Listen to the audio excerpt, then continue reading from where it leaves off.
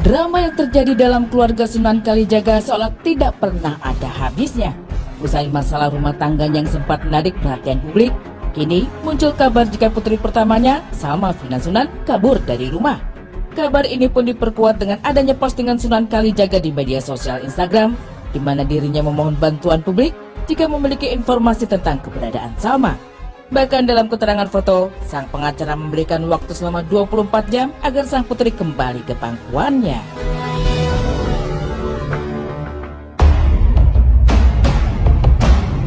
Tim Insert pun mencoba meminta keterangan langsung dari Sunan Kalijaga mengenai kabar sang putri terkini. Klarifikasi pun akhirnya dilontarkan Sunan Kalijaga mengenai keberadaan dari Salma Vina saat ini. Dirinya dan sang istri Heidi menuturkan jika keberadaan Salma saat ini sudah mereka ketahui. Kini Salma masih berada di Bali bersama dengan teman-temannya.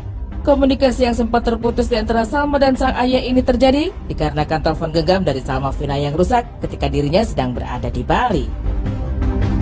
Saya tahunya Salma ada di Bali. Salma di Bali pun saya berkomunikasi sama Salma. Saya tanya kamu di mana? Di sini ya. Mana buktinya? Dia kirim. Oke. Kamu mau stay di hotel atau mau ke mana? Ntar kasih tahu ayah seperti itu jalan. Nggak tahunya uh, ini saya cerita sehari-harinya uh, karena dia di sana dengan aktivitasnya dia ya handphonenya dia rusak kecemplung. Iya sampai ditaruh di beras tuh sama dia. Enggak ini dia lakukan sendiri. Iya kecebur itu lagi di servis handphonenya. Tanggal berapa? Tanggalnya 26 jadi sudah rusak dari tanggal 26 itu sudah rusak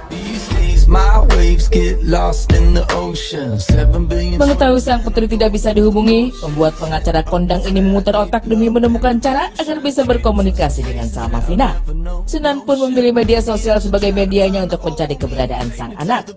Pengacara kondang ini berharap dengan adanya unggahan dirinya di media sosial, mendapat tanggapan dari Salma Vina ataupun orang-orang yang mengenal Salma Vina. Usaha yang dilakukannya pun tidak sia-sia. Pasalnya, salah satu warganet berbaik hati memberikan informasi mengenai keberadaan Salma. Saat itu saya tidak uh, apa, tidak tahu lah. Yang saya tahu adalah sebagai seorang bapak, kok saya ngubungin dia nggak bisa. Ya saya WhatsApp nggak dibalas, lalu saya coba uh, telepon nggak aktif. Oh, sudah saya pikir uh, ya tetap positif thinking lah ya. Saya nggak belum berpikir aneh-aneh belum berpikir ada apa bagaimana. Uh, saya mencoba terjun masuk ke dunia media sosialnya. Ya sehingga saya memposting satu postingan uh, dengan harapan kawan-kawannya yang melihat atau kalaupun dia melihat dia bisa segera merespon merespon saya gitu kan ya kalau ditanya khawatir ya saya sebagai orang tua ya khawatir. Setelah dirinya mendapatkan kabar jika Salma baik-baik saja membuat Sunan menyadari jika masalah ini bukanlah persoalan yang besar.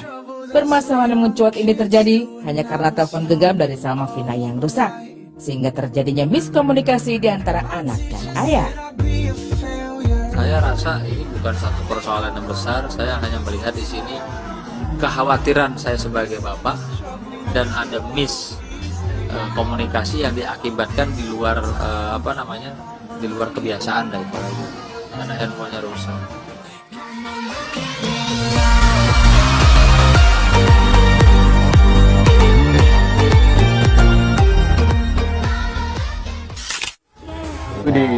maaf maaf nih ya kalau ya. buat saya ya. ya. Kayaknya kan tadi Bang Sunan kayaknya tahu nih sang anak lagi ada di Bali. Uh, Berarti dia tahu dong bukan anaknya bukan gila kalau menurut saya ya. Bukan, mungkin kan tadi kan sempat tuh kalau handphone itu bisa dihubungi. Ya namanya juga orang tua. Orang tua mana tidak khawatir Cemas. ketika mencari anaknya tidak bisa dihubungi. Makanya kita lain kali nih sebagai anak nih di mana pun berada ya jangan membuat khawatir orang tua lah. Kalau misalnya mau pergi keluar ke rumah aja nih pamit izin karena kita nggak tahu loh ketika buka pintu apa yang terjadi kita nggak tahu loh. Ya kan? Iya. Itu keluarga kan jadi yang paling depan. Tapi kan kita bisa positif thinking aja gitu. Maksudnya handphonenya bisa aja lowbat atau mungkin kuotanya lagi habis tetap aja bisa banyak cara sih kalau menurut aku sih nggak bisa bisa minjem teman-temannya bisa ke mana nggak bisa Di Bali gitu ya, di Bali kan juga banyak.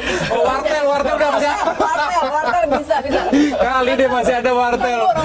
Iya benar benar. kalau misalnya anak Iya dihubungin tuh, Makanya buat Salma bawa koin ke mana-mana. Kalau ada telepon umum tuh masukin. Masih ada, Bu. Nggak ada. Ya Sudahlah kita eh, tinggalkan informasi dari Sunan Kalijaga Jaga dan juga Salma ya sang anak. Dan informasi berikutnya ada Nisa Sabian yang didaulat menjadi eh, duta salawat di Jawa Timur. wow keren beritanya seperti apa jangan ke mana ya tetap di Insert pagi. Yeah.